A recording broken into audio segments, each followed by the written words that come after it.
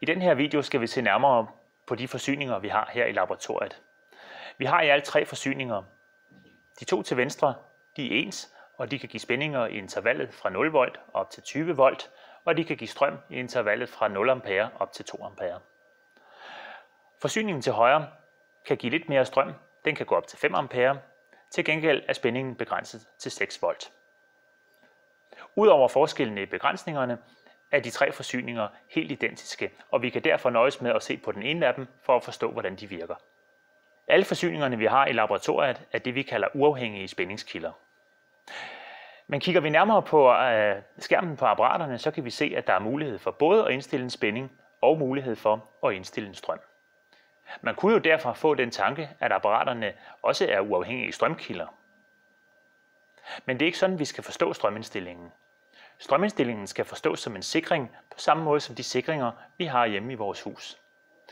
Det er en mulighed for at beskytte vores opstillinger, således at vi ikke får afsat mere effekt i dem, end de kan tåle.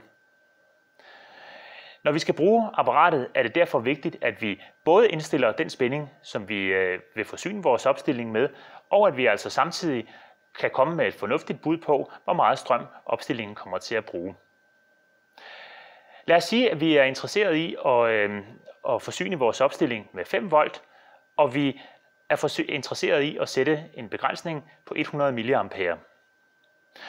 Så får vi behov for at kigge lidt nærmere på indstillingsmulighederne her på skærmen.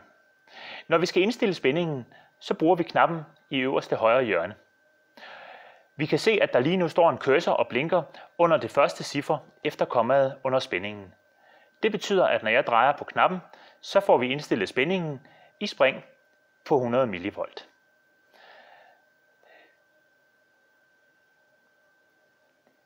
Hvis jeg nu vil indstille en spænding, der er, er på, på 5 volt, og jeg ikke gider øh, tage alle de mange spring på 100 millivolt, så kan jeg flytte cursoren en plads til venstre. Når jeg skal flytte cursoren, så trykker jeg på øh, den hvide del af knappen i øverste højre hjørne.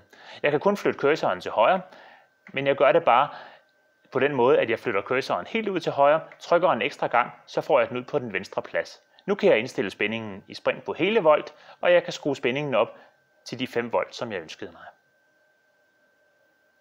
Når jeg er færdig med at indstille spændingen, skal jeg huske at indstille strømbegrænsningen. Jeg anvender nu knappen øh, øh, umiddelbart under den i øverste højre hjørne, den knap, der hedder Voltage-Current. Når jeg trykker på den, hopper cursoren over til strømindstillingen, og jeg kan nu indstille den maksimalt tilladte strøm. I det her tilfælde vil jeg indstille en maksimal strøm på 100 mA, og jeg skal derfor nøjes med et enkelt klik på knappen. Når jeg har gjort det, er jeg klar til at tænde for spændingen, og det gør jeg ved knappen i nederste højre hjørne. Før jeg tænder, skal jeg imidlertid sørge for, at jeg får tilsluttet den belastning til forsyningen, som jeg er interesseret i. Den belastning, som jeg vil tilslutte, er en modstand på 100 ohm. Den har jeg her. Når jeg skal lave en god forbindelse til modstanden, vil jeg vælge at benytte et sæt klemmer, som dem jeg har liggende på bordet foran mig. Og jeg tilslutter nu klemmerne på hver sin terminal af modstanden. Jeg har valgt klemmerne i farverne sort og rød, da det er det, man plejer at bruge inden for elektronik. Den sorte ledning og den sorte farve generelt reserverer vi til vores referencepunkt, også kaldet vores minus. Så bruger vi den røde ledning til vores plus, og vi er klar til at forbinde ledningerne til spændingsforsyningen. Jeg starter med at forbinde den sorte ledning. På den måde er jeg sikker på, at referencepunktet altid er forbundet korrekt. Dernæst forbinder jeg den røde ledning,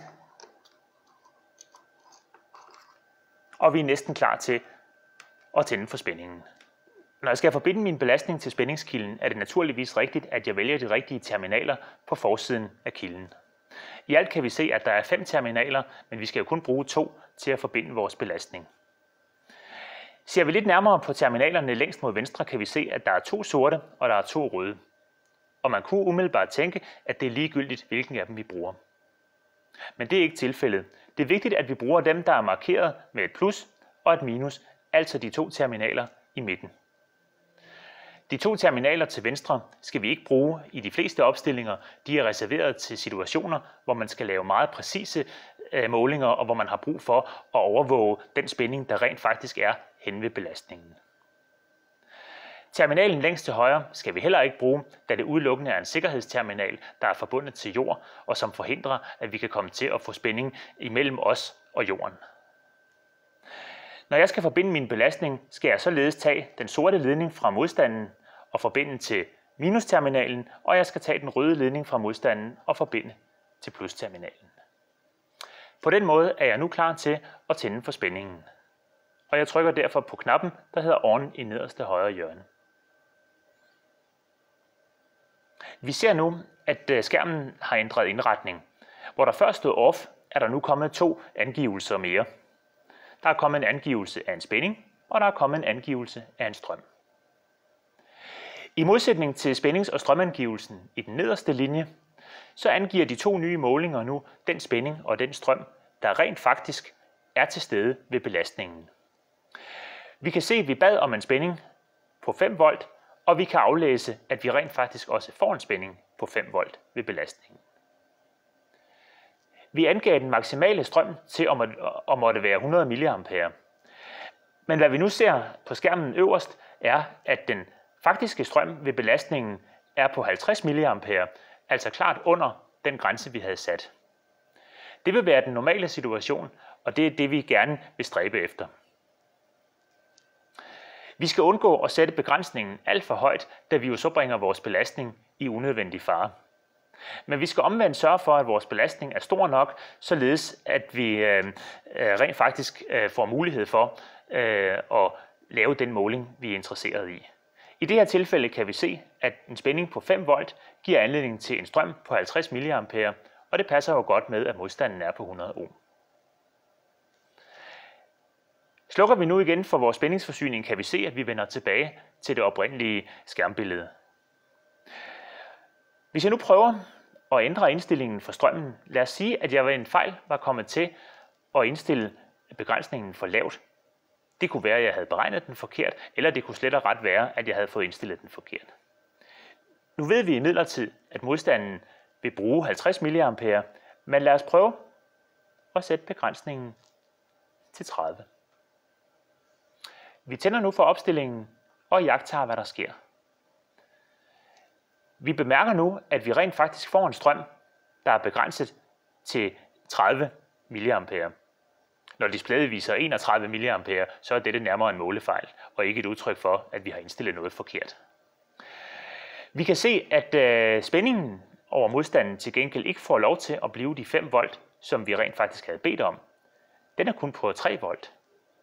Det er altså vores forsyning, der har beregnet, at for at undgå, at strømmen bliver større end 30 mA, der må spændingen ikke blive større end 3 volt. Og det har den så indrettet sig efter.